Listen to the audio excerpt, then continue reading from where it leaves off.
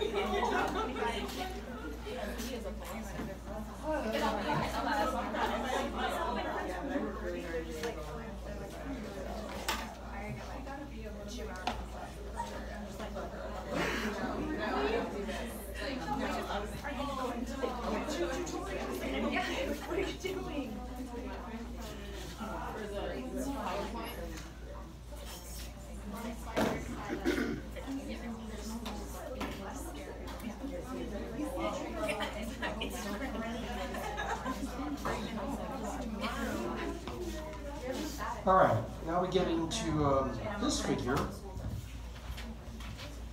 Sometimes immunologists refer to the immune system as, as having two arms.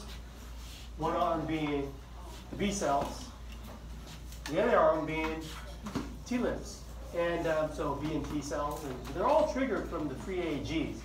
As we discussed before the break, the B cells have membrane bound antibodies that can directly bind the free AGs, the free antigens. However, T cells require an antigen presenting cell to present a piece of the antigen to it to activate their, their clones and subpopulation. So that's one important difference between B's and T's. T cell activation requires AG presentation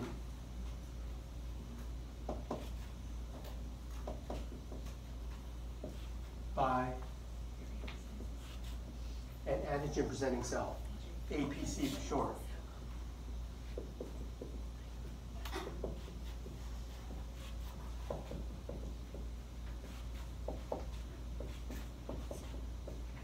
Cells that have this APC function include macrophage, dendritic cells,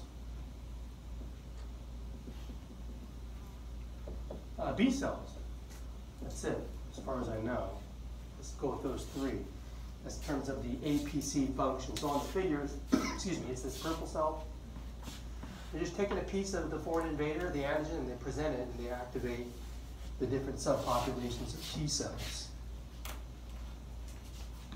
So T cell mediated immunity, here's a more complete figure of their activation response. And this shows you some more details. For example, well, we already know that they mature in the red marrow. Then they go to the thymus, which is uh, basically just superior to the heart. and they undergo further maturation and selection into two subclasses called CD4 CD8.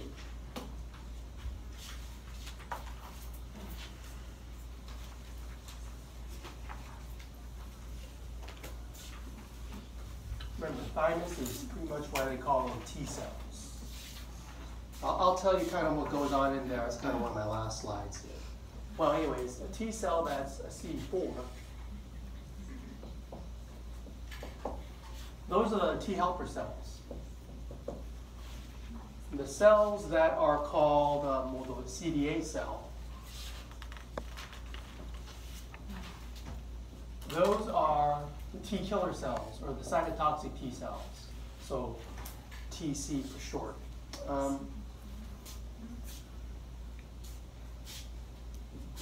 what this figure also teaches is that um, here, here, are the APCs basically, and um, what we know is that the CD4 they're restricted to interacting with cells that are class 2 MHC. Restricted to interacting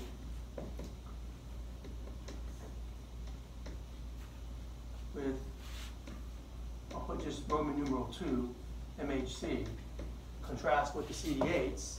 Um, they're restricted to interacting with cells that present class 1 MHC protein.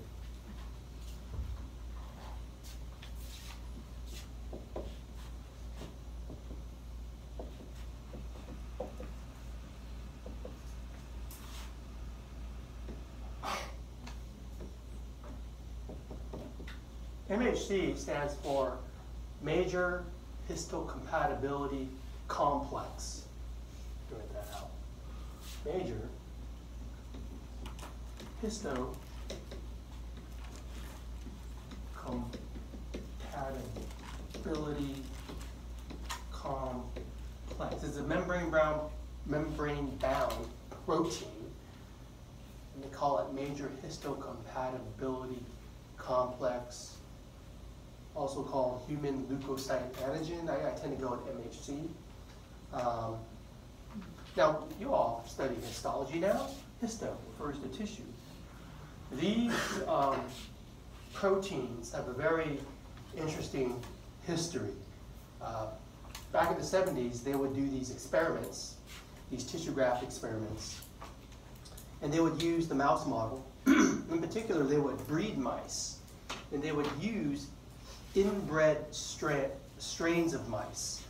So when you breed mice, you have a parent, you cross them, and they have a litter.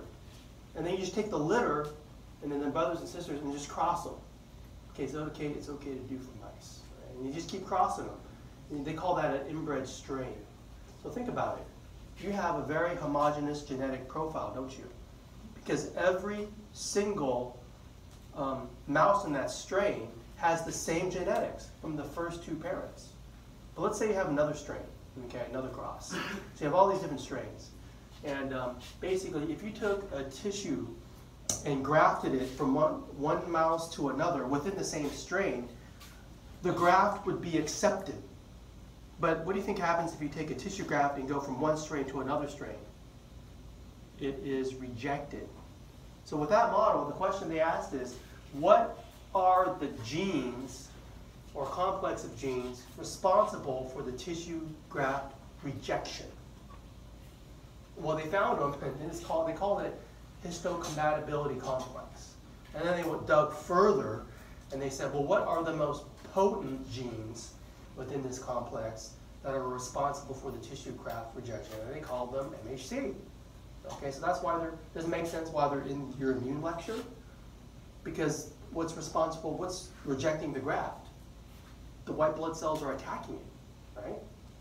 And these are the ones that are responsible for kicking off the T cells anyways. So um, that's where this term comes from. MHC, you need to study them in an immune lecture. And so um, what we see here is that you interact with class two, you, you get your helper T's. You interact with class one, you get your cytotoxic T cells. and so then the MHC require a little more explanation. Class 1 MHC, the CD8 cells will become cytotoxic T cells, remember, class 1 CD8. They are activated by antigen fragments linked to class 1 MHCs of APCs. Okay, CD4 cells become the helper Ts. Link them to the class 2 MHC. Just keep that straight in your head. Um, some more about class 1. So when you study MHC, I kind of came up with this outline of questions that I actually like to ask myself to keep straight in my head what they do. So it's good for you to learn as well. So let's see. Okay, so um,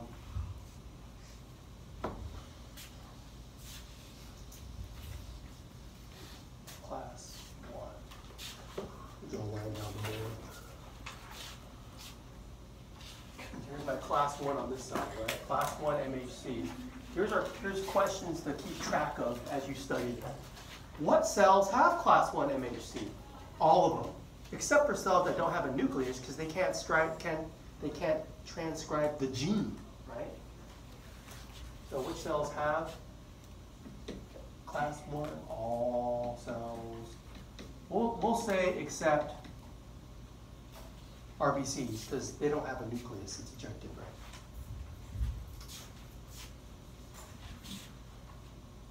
Except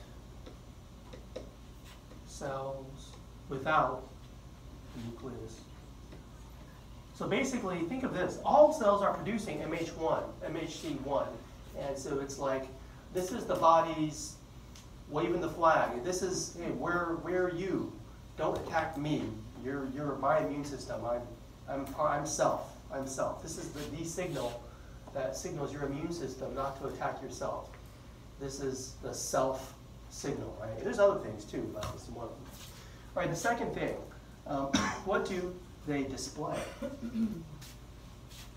What do all these cells that have MHC1, what do they, what do they display in endogenous antigen?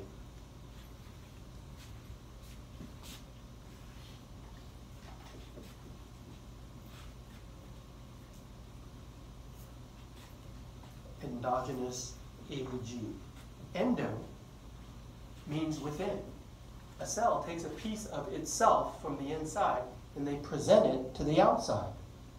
So when the white blood cell comes along, it says, oh yeah, I interact with MHC1 and look, there's a self AG there, okay? Um, so I'm just gonna move along. I'm not gonna mount an immune response in a cell that's got MHC1 and it has a self AG. Now it turns out, what kind of antigen is this? It's usually self. But in times where you are sick or have cancer or something, you know, some viruses cause, cause cancer and could be self or non-self. So that third thing, the AG, can be self, could be non-self.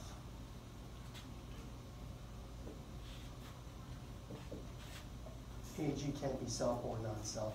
Non-self is when you actually have a virus infection.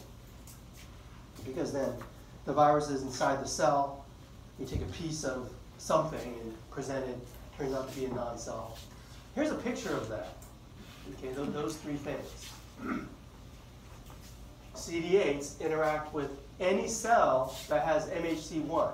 And it's most of them in your body except cells that don't have a nuke. So imagine this cell is any of those cells that, that have class 1 MHC. They take a piece of themselves from the inside, they just mount it in that groove of the protein structure, and it's presented. If a CD8 cell were to come along, it would recognize, bind, but not trigger an immune response. Just move on. But if it were a virus-infected cell, you would assume that it would trigger an immune response. So it could be self or non-self in that little groove. So for the class 2s, it's a little different. Which cells have class 2? So for the class 2s, the, the cells that have class 2 MHC are the cells that have the APC function. Cells that have the APC function present class 2 MHC.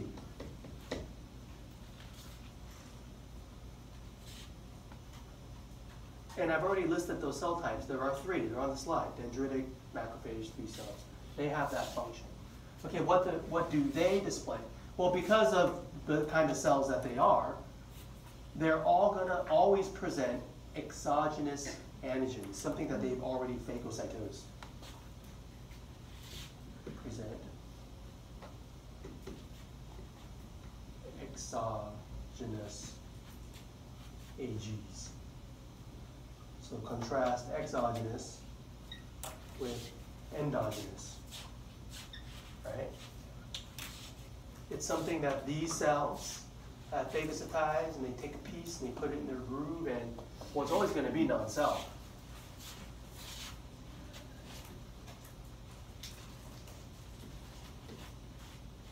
So here's a picture of that.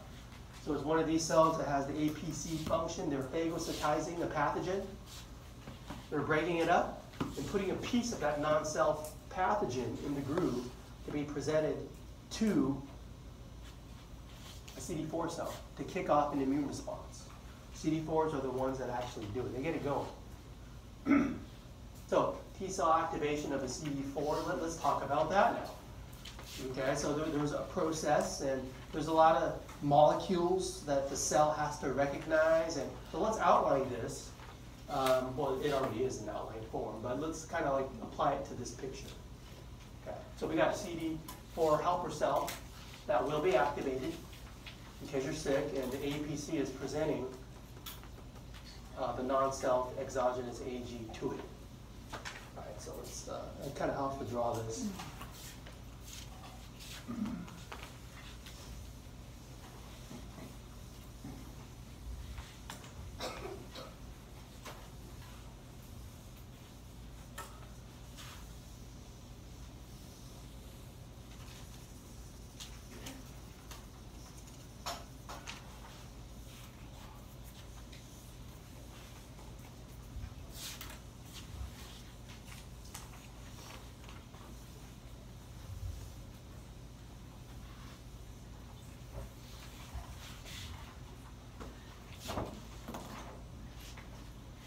Okay, so that big purple cell, that's the APC.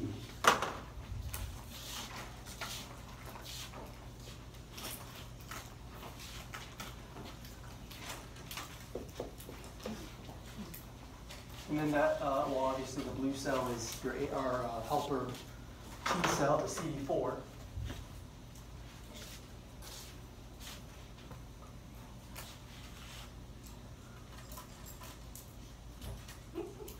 CD4 cell, or helper T cell, same thing. And, um, well, one of the things we see here, they have, um?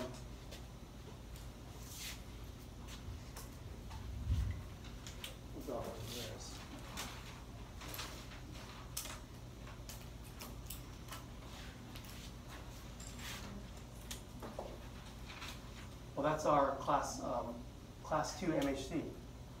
Okay.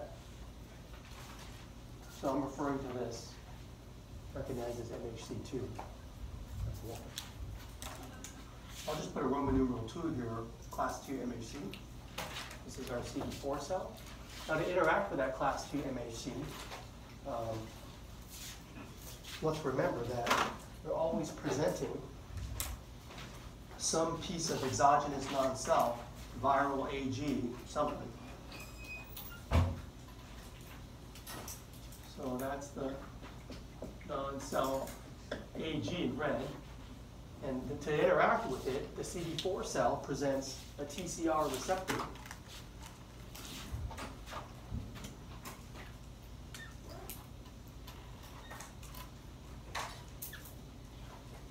I'll put TCR, which stands for T cell receptor.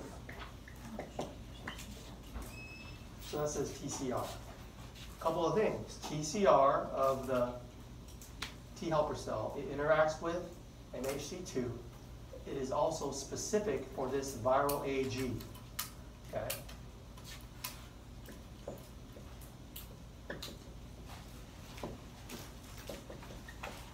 That's what I brought in. T cell receptor specific for this viral AG. To stabilize this, you have, they have illustrated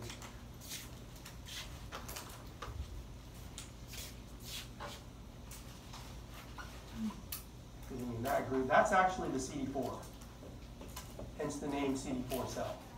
It stabilizes that. This will trigger a cell signal, call it signal 1.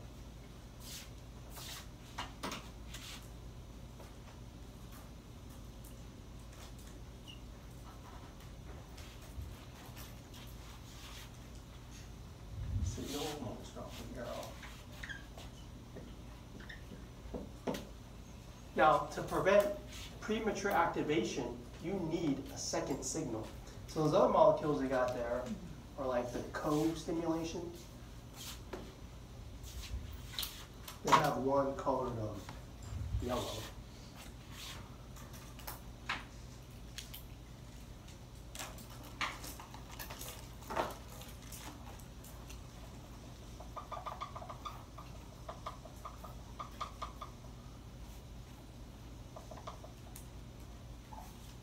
I'm gonna trace in black so I can see yellow on the whiteboard.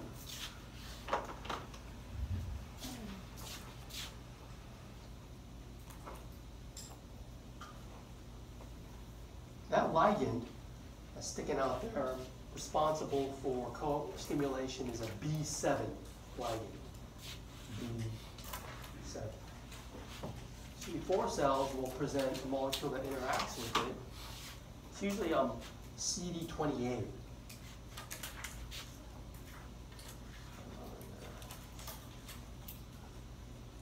That one is CD28. That's your co-stimulation.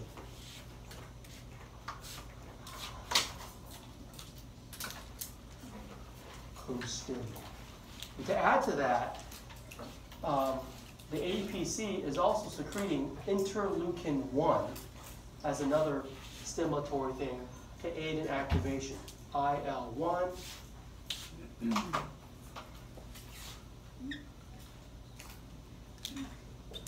Well, they happen to use also red dots, so it's IL-1. Ooh. Hmm. That'll help with the stimulation. Okay, so I'm going to go back a slide and make sure we outline everything. Number one, TCR recognizes MHC2. Got it, check. Also, it's specific for this viral AEG. Check that box. CD4 stabilizes this for signal 1. Check that box. Now, the co-stimulation is the B7 CD28 along with IL-1. Check that box. That sets forth signal 2 to complete activation. So basically, you're turning this cell on and it'll change, it'll activate, it'll do other things, like for example, I, put this slide in. It's a different thing showing you signal 1, signal 2, and your activated T cell. Um, it'll upregulate other CD um, molecules like CD154, which helps upregulate inflammation and activates other APCs. So there are differences between a cell that has not been activated that is activated. This is the point. So, so these signals will make the cell produce other things like CD154. It is now activated. And it'll do other things like secrete IL-2, okay?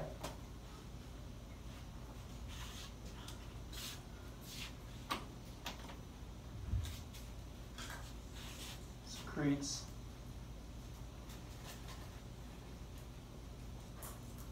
IL-2. So there are markers that a T cell has been activated. You got both signals. And it's good to have two. It's good to have redundancy so you don't have premature activation. this is like a for sure. If both signals kick off, you know you have an infection. You activate and you mount an immune response. Now, without this co-stimulation,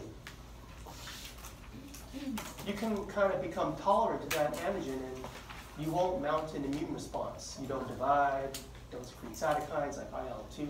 Basically, without the T helper cells, there is no immune response. So that speaks to the importance of the cells and also the importance of coactivation. Okay? So if you have proper activation, how do they quote unquote help? So I've got a few slides to kind of show us what they do. So now let's take it to the next step.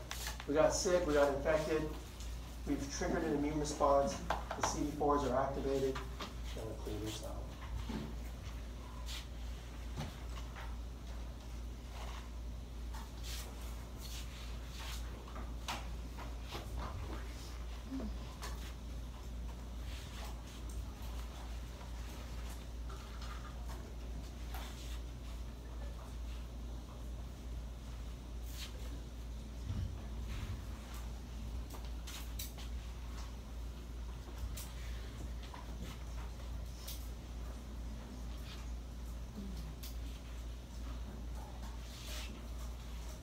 Good way to think of it is um, the CD4 cells that are now activated. Activated. CD4 cells help activate other cells.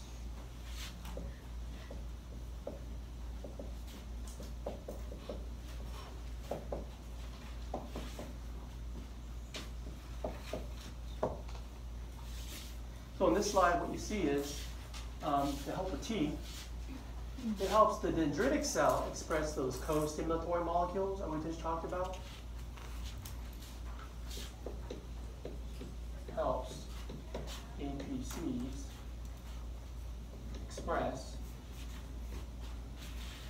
co-stimulatory molecules.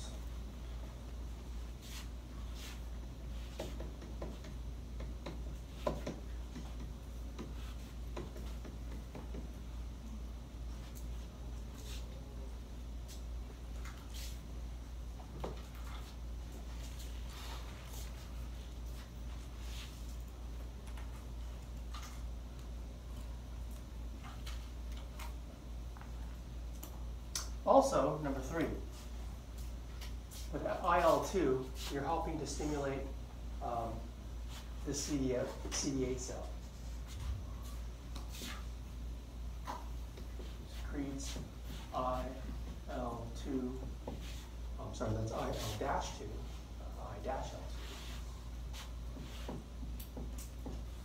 And the name of these molecules, IL-1, IL-2, interleukin, right? Secreted between leukocyte types of cells. It's very, uh, makes sense, makes sense. Secrete IL-2 to help activate CD8 cells. Those are the cytotoxic ones. And now here, here we see it secreting IL-4 to help activate a B cell.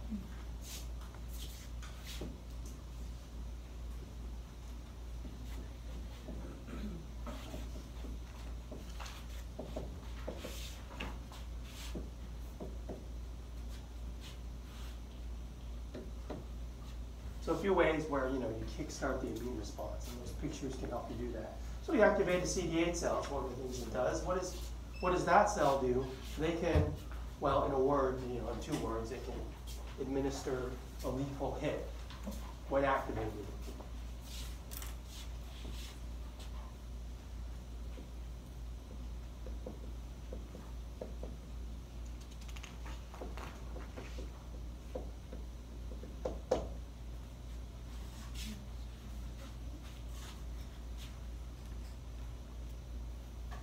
And the next figure shows how it kind of like secretes perforins and granzymes to help punch holes and kill virus-infected cells.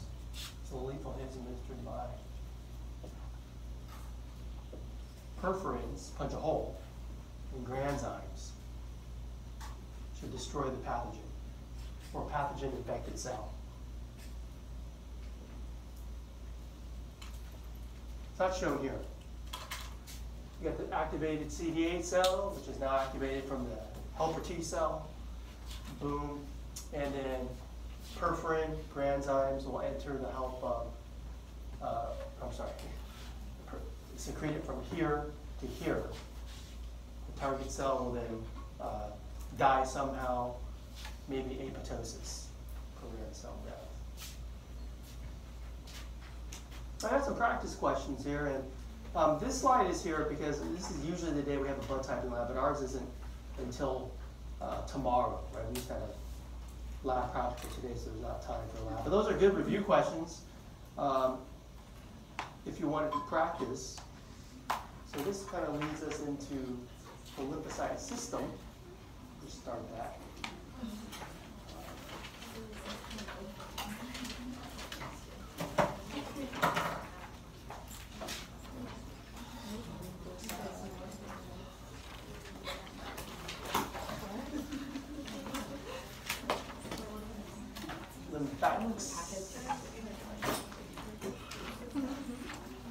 Lymphatics. You